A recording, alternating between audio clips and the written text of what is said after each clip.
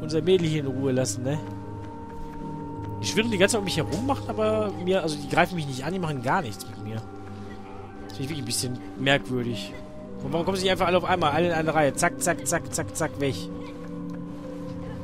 Boah, das ist aber echt eine nervige Stelle. Nein! Ja.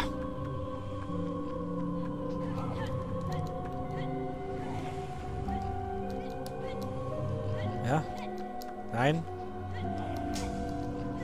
Noch einer weniger und noch einer weniger und noch einer weniger. Noch einer weniger. Das ist echt gut, hier die Stelle. Muss ich wirklich sagen. So, steig in die Höhe.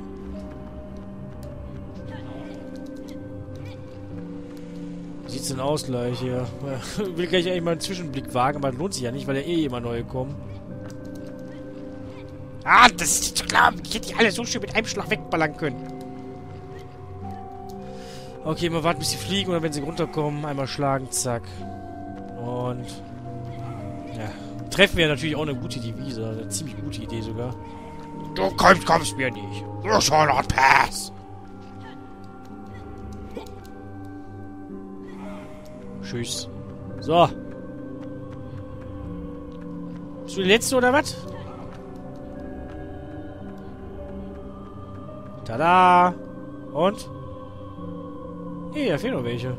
Ich werde wahnsinnig. Wo seid ihr denn?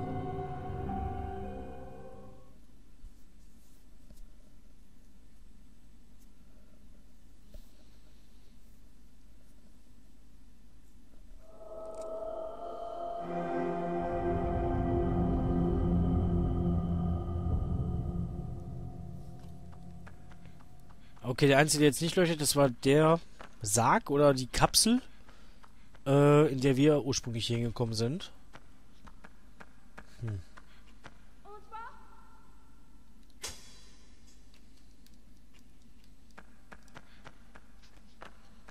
Hm, kann ich dann jetzt noch nichts mit ihr machen. Super.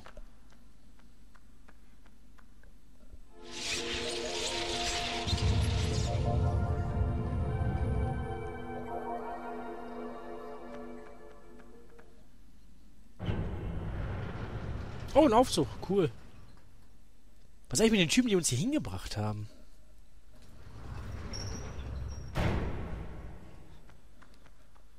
Weil denen sind wir jetzt auch noch gar nicht begegnet.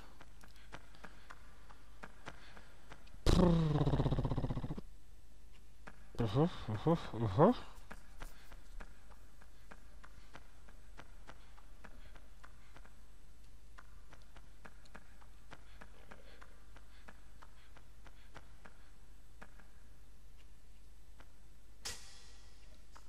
Mhm.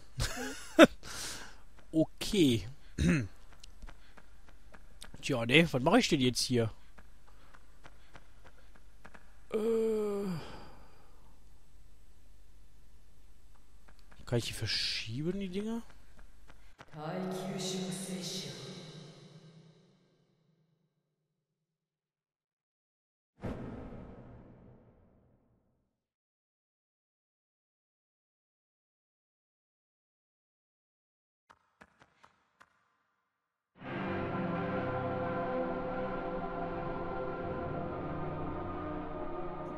Skiungo.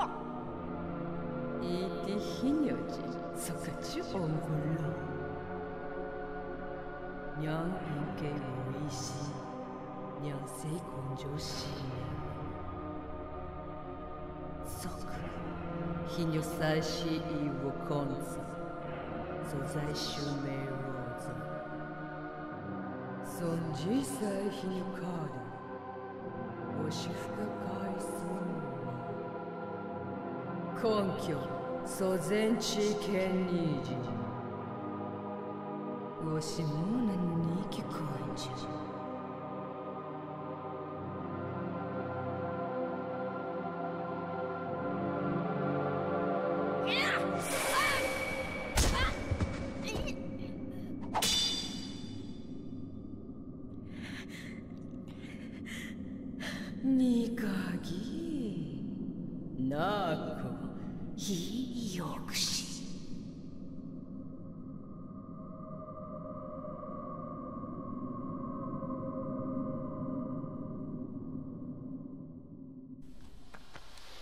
Habe mein Horn verloren. okay. Endlich nach Fight hier, oder was ist das jetzt? Ui. Oh. Ich, hab, ich muss irgendwas hiermit machen. Auf jeden Fall beschützen die Sachen mich.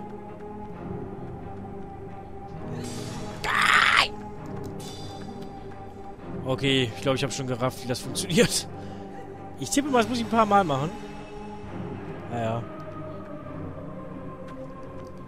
Vielleicht, weil das sah so aus, als hätte ich dem, den Schild Schaden gemacht irgendwie. Wo ist denn jetzt den, den, den Schwert? Ach du Scheiße. Weiter weg ging's nicht. Ui. Alter, war das knapp, okay. Ich weiß nicht, was es für Auswirkungen hat, wenn mich äh, hier dieser komische Strahl trifft. Deswegen versuche ich mich lieber davor zu schützen. Und vielleicht trifft der mich nur, wenn ich das Schwert nicht in der Hand habe. Weil der mir vielleicht auch, es sieht zumindest so aus, auch einen Schutz äh, verleiht. Verleitoskop. Okay. Aber erstmal ganz nach vorne. Stirbschlampe! Bautz! Hurtig! Wer in die Richtung gedüst. Ach, da vorne, da oben ist es sogar. Mega. Ja, es wirkt so, als wenn es das immer in kürzeren Abständen machen würde. Ja. Bounce! Lauf! So. In der Wand. Cool. Hat was. Ich kann es nicht seitlich schieben. Das verstehe ich jetzt nicht so ganz. Er wird doch halb so wild sein.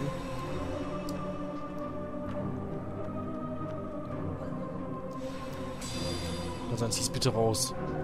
Bitte zieh ihn vorher raus.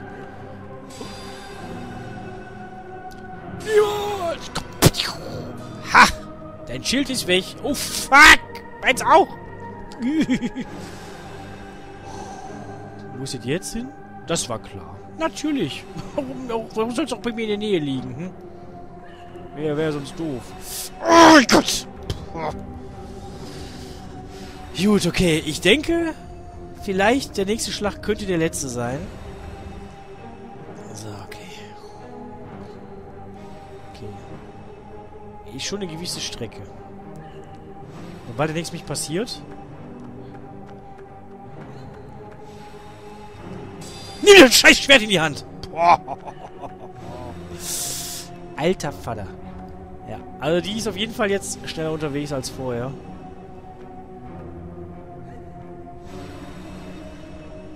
Komm schon, Baby. Okay. Die Motherfucker!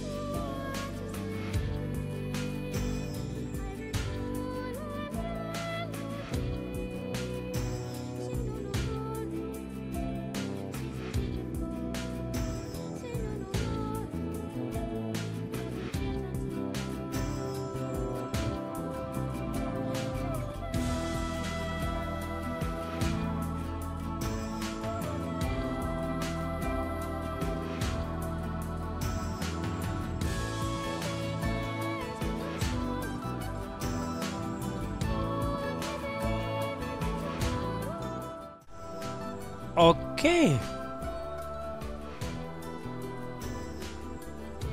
Gut. ich bin gerade ein bisschen platt, weil ich hätte jetzt erstmal nicht erwartet, also klar, jetzt, äh, dass das Spiel jetzt zu Ende ist, nachdem die ganze Insel untergeht, okay. Aber ich bin von dem ganzen Ende komplett überrascht. Also es wirft super viele Fragen für mich offen, ne? Oder doch, wirft auf, nicht offen. Aber ich finde das irgendwie total geil. Ich weiß auch nicht. Also irgendwie hat mir das jetzt gerade richtig gut gefallen. Also das waren so viele Sachen, die auf mich eingeprasselt sind, dass mein Gehirn jetzt erstmal gerade noch dabei ist, die Sachen zu verarbeiten. Also, Perle war in Stein. Habe ich verstanden. Die Mutter wollte sie haben, ne, damit die bald halt ihren Körper tauschen kann und dann jetzt in dem Körper ihrer Tochter weiterleben kann, zumindest ihr Geist. Okay, dann habe ich noch soweit begriffen. Alles klar. Dann haben wir die ganzen Geister oder Seelen der Jungen wahrscheinlich kaputt gemacht. Oder vielleicht befreit, das könnte es vielleicht sein. Ähm, der Jungen, die jetzt hier auch schon hingeschickt worden sind. Das hat wohl dafür gesorgt, dass sie, also dass die unsere, unsere zerbrechliche Frau, wie man sie hier sieht, die dann in Stein war, eine andere Form erlebt hat, wirklich super, vielleicht so ein Super Saiyajin-Modus, aber die wirkte, als sie dunkel war, also hier wirkte sie ja sehr unbeholfen und zerbrechlich mit ihrem weißen Outfit, aber als sie dunkel war, wirkte die unglaublich souverän und kräftig, fand ich. Und die hat uns dann gerettet, obwohl wir bewusstlos waren unsere Hörner verloren haben, hat sie uns im Boot gesetzt, uns weggeballert, ist aber selbst da geblieben und mit der Insel untergegangen. Andererseits, aber was heißt andererseits? Aber wir haben da auch dafür gesorgt, dass die Jungen jetzt wahrscheinlich, also die jetzt dann auch mit Hörnern auf die Welt kommen oder warum es auch immer die Hörner hat, das habe ich jetzt ja auch nicht erfahren, dass die jetzt wahrscheinlich keine, ähm, oder halt dieses Schicksal nicht mehr erleiden müssen, ne? dass sie dann auf eine Insel ausgesetzt werden. Was dann auch immer mit denen hier geschieht, das weiß ich nicht. Aber super interessant, muss ich wirklich sagen. Also das ganze Spiel, wirklich super interessant. Es ist deutlich besser geworden, als ich mir am Anfang erhofft habe. Ähm, von der ganzen Spielentwicklung her, also ich meine von der... Ja, okay, ich fange nochmal neu an. Man kann, also ich würde das, das Spiel hier schon teilweise wirklich in den künstlerischen Bereich sehen. Ne? Also von der ganzen audiovisuellen Hermachung her oder Aufmachung her. Hermachung, ich laber heute aber auch einen Scheiß. Man, man merkt, mein Gehirn ist doch voll dabei, die ganzen Einflüsse zu verarbeiten. Ähm, Nein, auch wieder, also wieder mit gerade in dem, wirklich in den letzten Kapitel, also nachdem wir halt die Brücke verlassen haben, hat mir super gefallen. Also wirklich von, von äh, raus aus der Burg bis jetzt echt super geil. Hatte echt Spaß gemacht. War vom Pacing her perfekt. Ähm, den Anfang fand ich sehr vielversprechend, ne, weil man halt immer hier und da mal wieder ein bisschen denken musste. Was ich nicht so gut fand, war die Mitte des Spiels. Ne? Aber grundsätzlich wirklich, muss ich wirklich sagen, hat mich positiv überrascht, das Spiel. Ich war zwischenzeitlich wirklich ein bisschen, ähm, ja, ein bisschen stutzig. Hatte mir selbst auch schon so ein bisschen gedacht, boah, ich weiß nicht, ist das jetzt wirklich so der, der Renner? Aber jetzt, als geschlossene Geschichte gesehen, echt richtig geil. Hat Bock gemacht. Wenn ich nochmal spiele, ich werde hier Platin holen, das auf jeden Fall. Wo wir gerade schon beim Thema sind, ähm, ich lasse gerade nochmal eben die Credits durchlaufen. Ich weiß nicht, wie viel da noch kommt, aber es sieht nicht so aus, als würde noch allzu viel kommen. Weil da würde ich mir gleich gerne mal die Trophäen einmal anschauen, was ich noch alles holen muss. Aber es kann ja noch sein, es wird hier bestimmt noch was kommen, ne? Das ist so ein Spiel, wo hinterher noch was kommt. Vielleicht. Warten wir mal ab.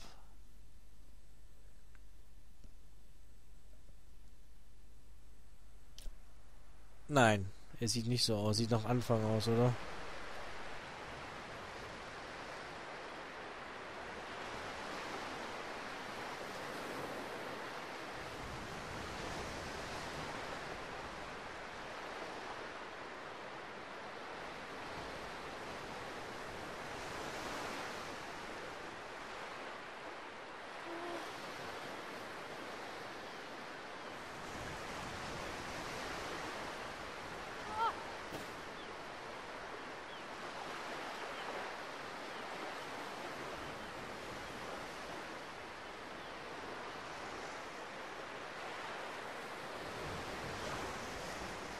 Okay, ich bin noch nicht fertig. Entschuldigung.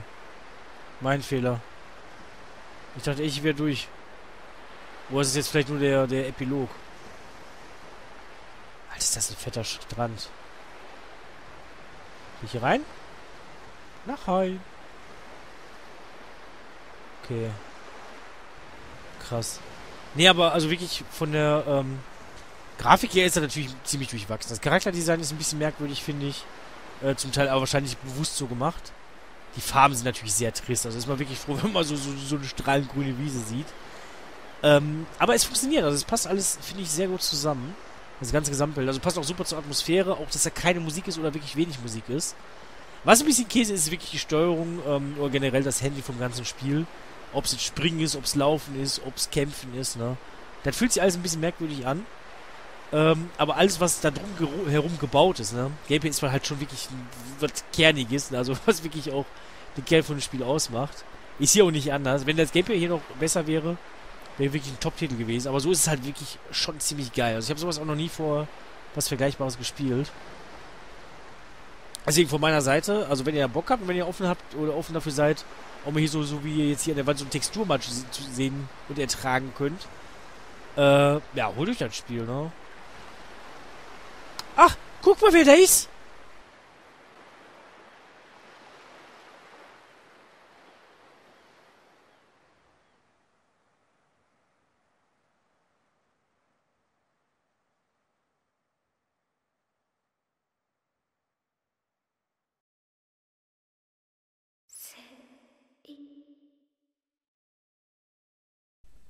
Wie?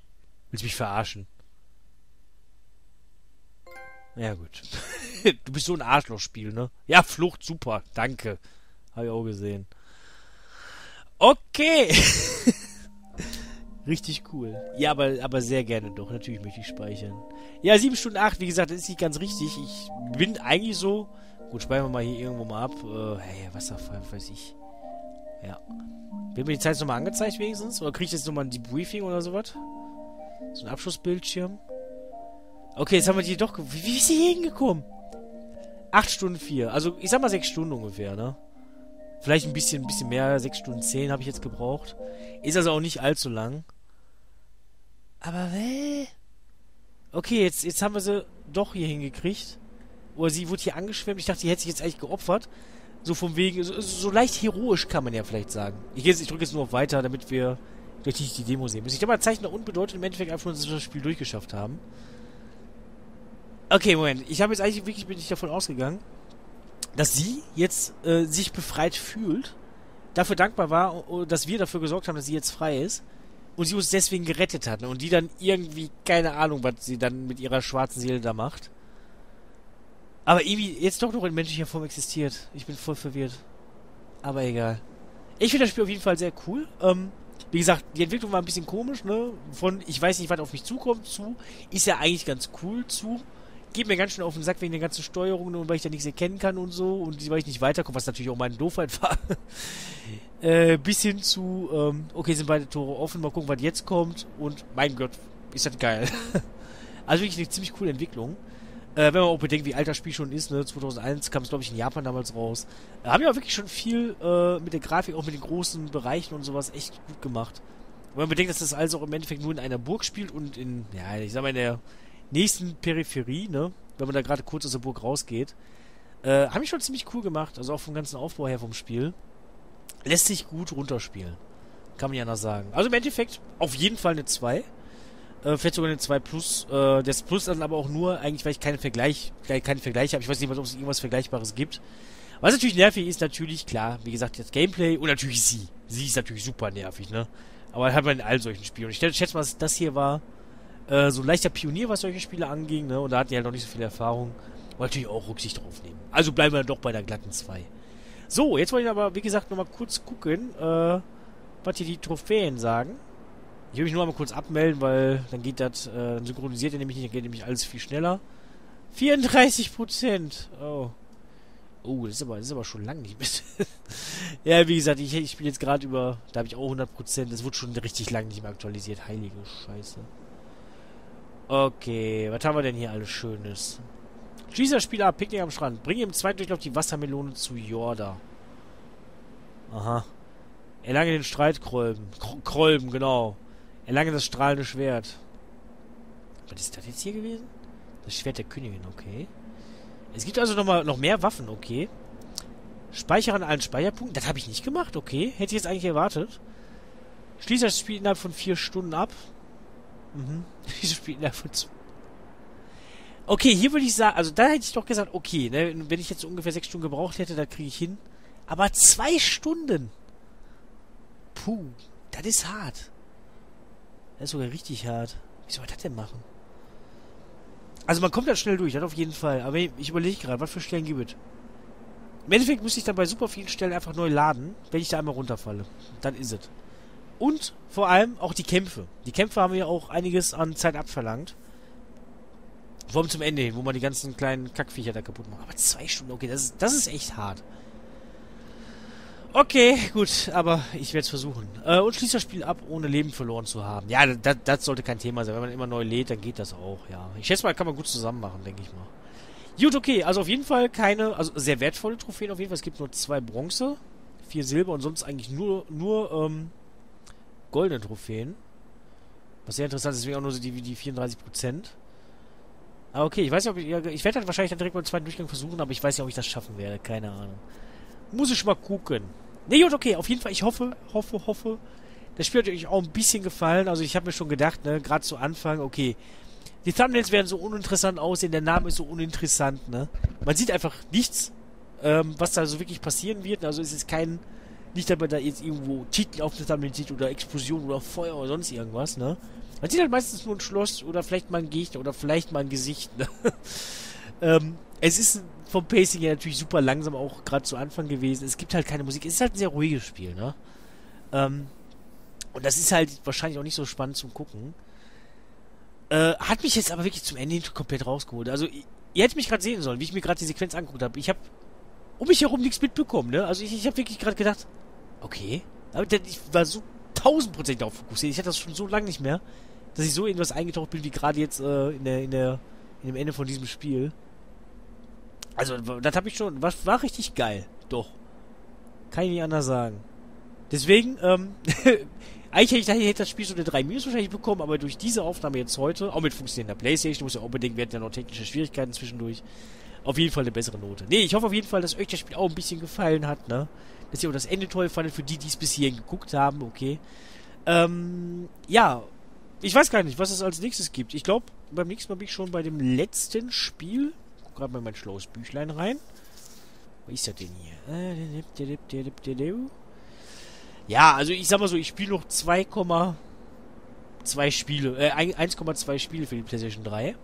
Äh, 2, weil ein Spiel, das kriege ich in der Aufnahme durch. Ne? Das, ist, das dauert, weiß ich, eine halbe Stunde, drei, vier Stunden, maximal eine Stunde. Äh, von daher alles gut.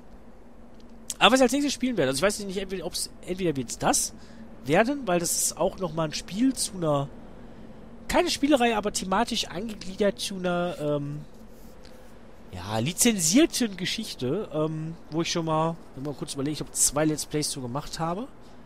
Dürfte glaube ich nur zwei gewesen sein, ja. Oder aber, ähm, es wird ein anderes Spiel sein, was ebenfalls lizenziert ist, was ein bisschen umfangreicher ist, wo es für, äh, wo, es schon seit ziemlich vielen Jahren sogar Spiele gibt, also seit der 8-Bit-Ära, glaube ich. Ja, ich glaube, äh, 8-Bit-Ära, da hat es angefangen gehabt, genau. Äh, und bis zum heutigen Tage sogar für die PlayStation 4 sogar noch einen Teil zu diesem Franchise gibt. So, jetzt könnt ihr bei, bei beide Spiele mal raten. Was ich zuerst machen werde, kann ich euch jetzt noch nicht sagen, um ehrlich zu sein. Was ich aber weiß, ist, ich werde hier auf jeden Fall Platin holen. Ich habe jetzt voll Bock drauf. Ich glaube, ich werde gleich direkt nach dieser Aufnahme weiter zocken. Beziehungsweise mal von vorne anfangen. Gut, wie gesagt, ich hoffe, es hat euch gefallen. Ich hoffe, das Let's Play hat euch gefallen. Danke fürs Zuschauen. Ich hoffe, ihr konntet meine Doofheit teilweise gut überstehen. Ich hoffe, ihr konntet die technischen Schwierigkeiten irgendwie überleben. Ich hoffe auch, dass diese letzte Aufnahme jetzt gut ist. Äh, für den Fall der Fälle, falls es nicht so sein sollte. Fände ich das sehr schade, weil ihr dann meine, ja, mein, mein Eindruck von dem Spiel nicht so ganz mitbekommt. Äh, aber, aber den alten Spielstand habe ich dann notfalls noch da. Gut, okay. Also, ne? Haut rein und ja, vielleicht bis zum nächsten Projekt morgen dann. Tschüss, tschüss.